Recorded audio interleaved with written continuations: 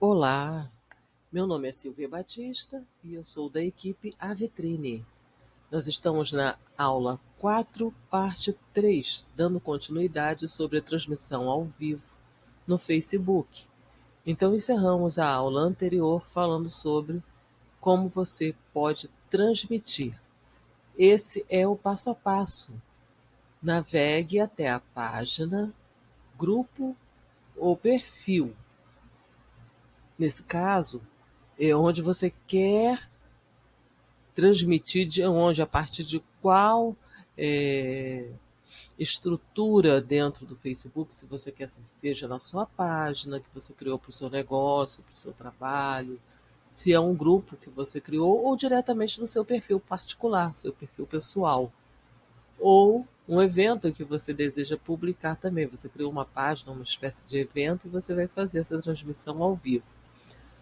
O que você fará a partir daí? Vai tocar no botão ao vivo na parte localizado na parte inferior do editor de publicação. Adicione uma descrição ao vídeo. Não deixe para fazer isso de última hora. Faça um rascunho, crie um nome simples, é, que seja que desperte interesse, já faça um rascunho para que no, naquele momento que você iniciar, antes de iniciar a sua transmissão ao vivo, já tem, não vai ficar imaginando, pensando qual nome vai dar. Até porque esse nome, na verdade, essa descrição, você já tem que ter criado antes de começar essa transmissão, ou seja, alguns dias antes, porque é necessário é, fazer uma divulgação. Porque é a mesma coisa, você começa uma transmissão ao vivo, coloca no ar e ninguém vai, olha, vai até lá assistir, ou poucos interessados, enfim. Quando nós fazemos uma campanha de chamada, mesmo que essa campanha seja gratuita, tem que coloque na sua página, no seu perfil, compartilhe com os amigos, convide pessoas, agende um horário, marque um horário como se fosse um evento, porque é.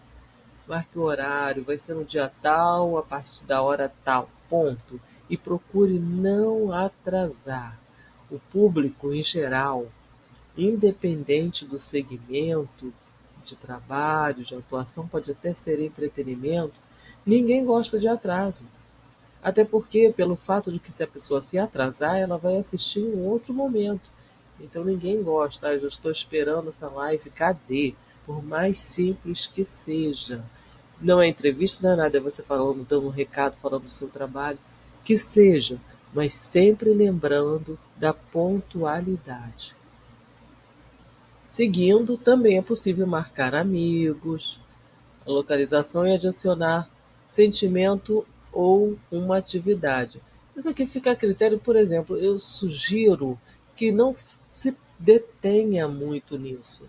Deixe essa parte para quando estiver é, mais habilitado, com maiores conhecimentos, já fez seu primeiro, sua primeira transmissão ao vivo, a segunda, a terceira, aí vai começar a aprender, já sentindo, é, sentindo segurança nessa transmissão, para desvendar, para fazer outras atividades ali que possa estar incorporando, valorizando ainda mais a sua transmissão. Bom, toque em iniciar ao vivo. Simples assim. Maiores informações? Tem dificuldade para memorizar? Adquira as nossas apostilas.